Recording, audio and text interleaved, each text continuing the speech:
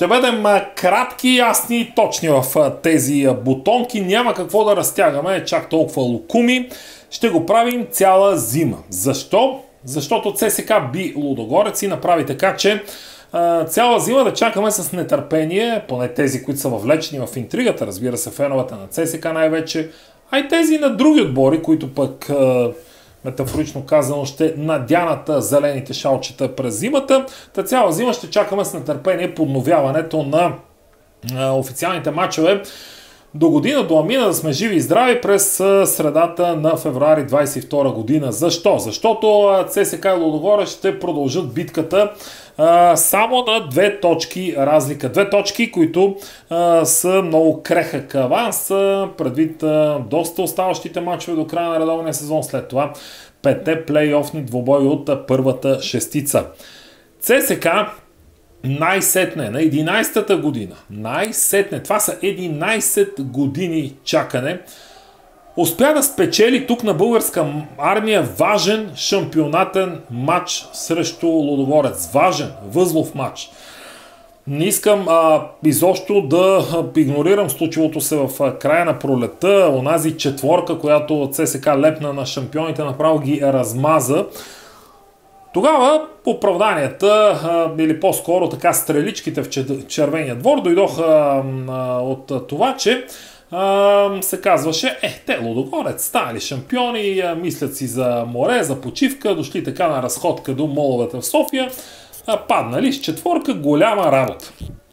Някаква минимална доза истина имаше във всичко това, защото това всичко бе факт не трябва, разбира се, да се обесценява която и да е победа, още повече, когато си вкарал 4 гола и си разнебитил отбора на Лудогорец. Но факт е, че онази победа за ЦСК имаше по-скоро така престижна имиджова стойност. ЦСК дори не успя да, да стигне до втора позиция в първенството. Завърши трети, направи отстъпление, така че матчът не бе възлов от тази гледна точка. Тук колко много години ЦСК не е успявал. Хиксове, загуби, хиксове, загуби, хиксове, хиксове, загуби, загуби. А, помня много епизоди на бутонките, в които а, дори един път а, пак не стана, пак не стана. Бях използвал някакво заглавие от сорта, че а, предлагам следващия път Лодогорец да излезе на армията с Green Ladies в състава си, та барем тогава ЦСК да бие или може би и тогава няма да стане. А, използвах някакъв друг епизод, в който пък а, сравних, че а, не знам, ако обикола пеша от тук до Китай пет пъти разстоянието, е пак през това време ЦСК не може да бие. Но всякакви такива неща бягат ми от съзнанието от този първи шампионатен матч тук, когато ЦСК а, поведе с 2 на 0 а, и а, стигна се до късно и изравняване, на резултата 2 на 2. Не върви, не върви, не върви. А, да, за купата ЦСК е с много по-добър актив и Лудогорец сякаш не иска ЦСК да му се пада за купата. За първенство също бяха взети мачове в разрад, но тук на българска армия, пред собствена публика, ЦСК не успя толкова много време да вземе важен матч от значение, от огромно, от възлово значение, какъвто бе днешния срещу Лудогорец. Най-сетне успя.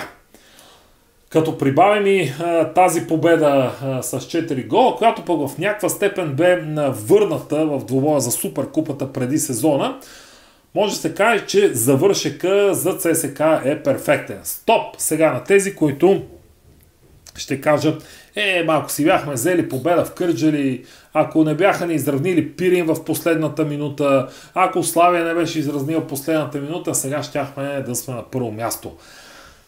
И е така и не е така.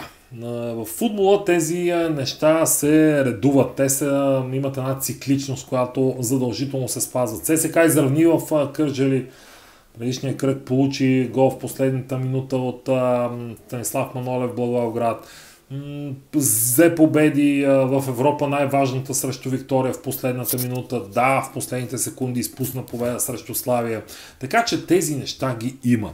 Те са част от един дълъг процес. Затова шампионат има толкова много мачове и трябва веднъж за винаги червената футболна общественост да спре да лъкатуши в крайности от едната до от един до другия а, край, диапазон, а, с, от, от всякакъв род а, крайности, крайни заключения, решения.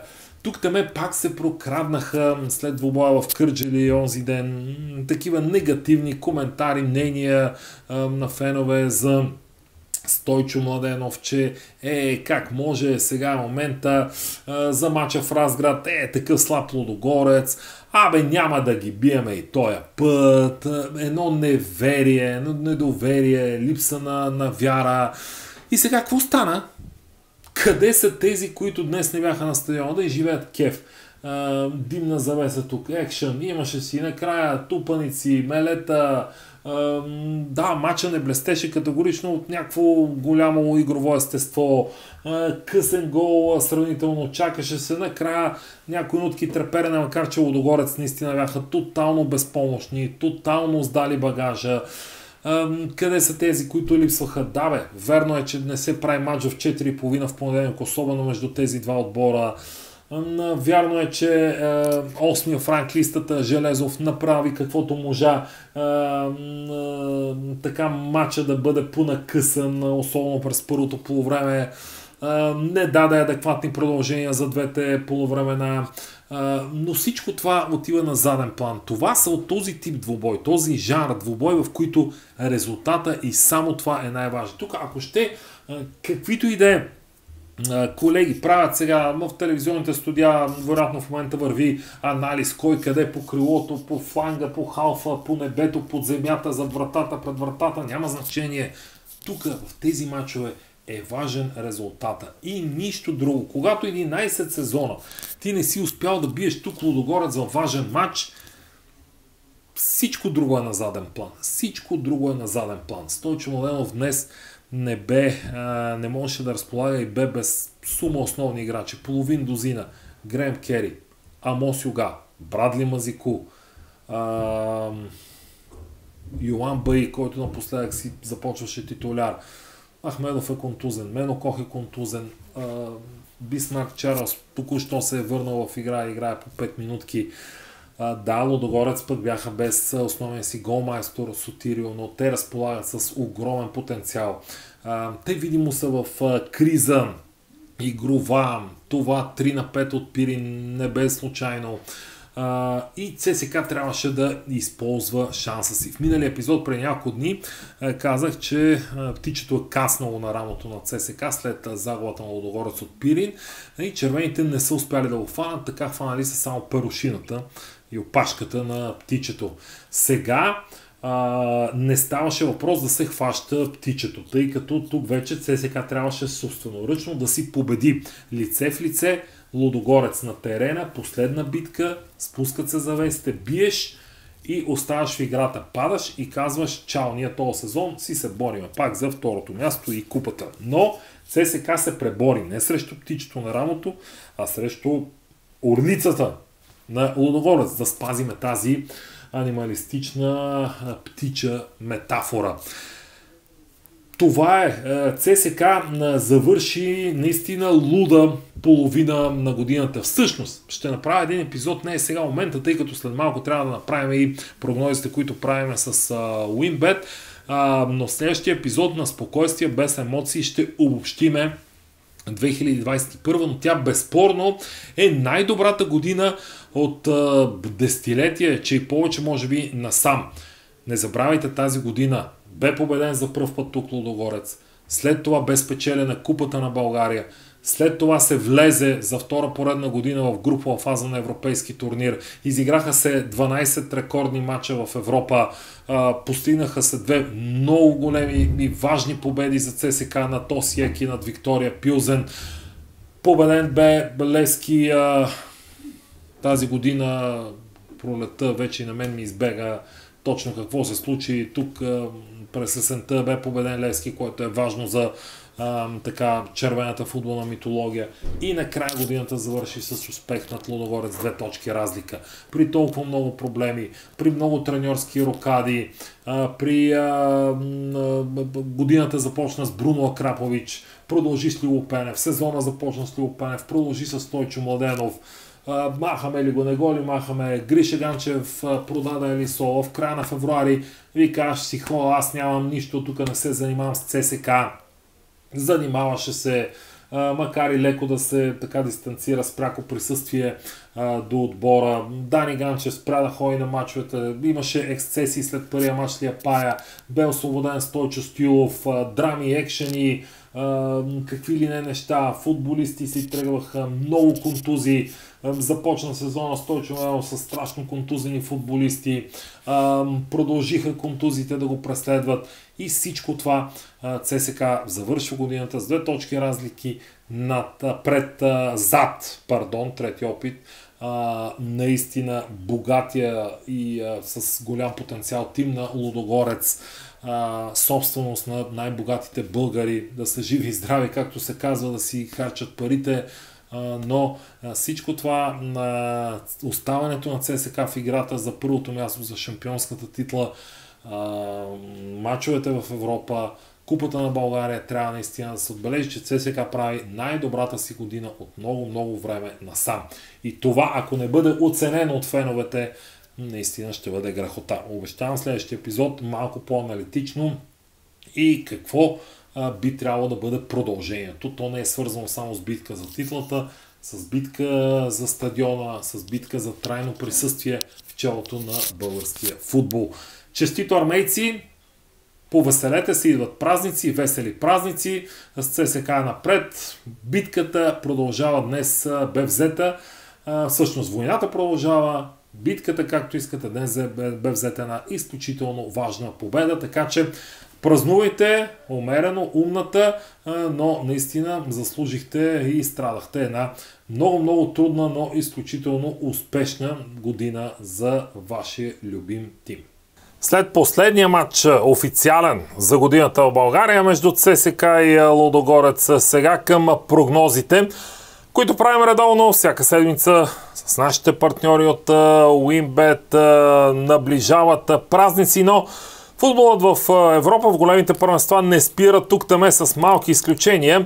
Германия прави пауза, Англия почти не там, малко с COVID да видим каква ще е ситуацията, но в Испания матчовете продължават в Италия, ще има междинни кръгове, така че Насочваме се към два двобоя от сряда. Те са доста любопитни по хронология. Започваме от двобоя за купата на лигата в Англия. Предстоят четвърт финали. Сблъсък дерби на Западен Лондон. Челси гостува на Брентфорд. Брентфорд нови член на Висшата лига. Наистина по съседски няколко спирки на Датюб метрото отделят Брентфорд и Челси като стадиони, като локации, като разположение на фенове. Така че това е бе интересен четвърт финал за Купата на лигата. Напоследък в първенството отбора на Тюхел малко позагуби точки. За негово щастие Ливърпул също загуби две в битката срещу Тотнам. Тук двобоят е в среда 21-45 матч, в който е логично и двамата старши треньори да използват доста резервни състезатели, макар че за тимове като Брентфорд подобен турнир пък е идеална възможност за достигане до възможно най-преден етап. Защо не и за спечелване на подобна купа, докато по-големите отбори, грандове като Челси леко неглижират това издание, особено в този толкова натоварен график. Гол-гол е моето предложение. 1.95 дава Уинбета два дни преди матча и двата тима да отбележат гол. Мисля, че е напълно естествено и постижимо това предположение. Малко по-късно, също в среда, 22.30, един матч от междинния кръг в Испания в Примера Дивисион, Севиля посреща Барселона. По принцип, от години наред това е сблъсък, който буди внимание, приковава внимание, очакване с интерес. Севиля продължава все по-плътно да се движи зад Реал Мадрид, особено след като през уикенда Реал не можа да победи, постигна Хикс у дома, а Севиля би не кой да е, а шампиона Атлетико Мадрид, така че формата на Севиля е без коментар, тя е върхова в момента. Посреща по принцип разколебания в последните седмици месеци като цяло Барселона, но пък Барселона с живителна победа и глътка въздух през уикенда. Така че тук може да очакваме добро представяне на каталунците. Те никога не бива да се подценяват, дори само заради името и традициите. Уинбет дава 1,77 също така за опцията и двата отбора да отбележат гол. Гол-гол 1.77 едва ли много ще варира в коефициента на Уинбет на вечерято на матча, но мисля, че е добра опция да опитате. Така че това са двете предложения. Иначе не само през седмицата и през уикенда, тиража на Уинбет продължава да бъде доста вълнуващ. Така че следете го, опитайте своя късмет. Защо не? От мен, чао и весели празници!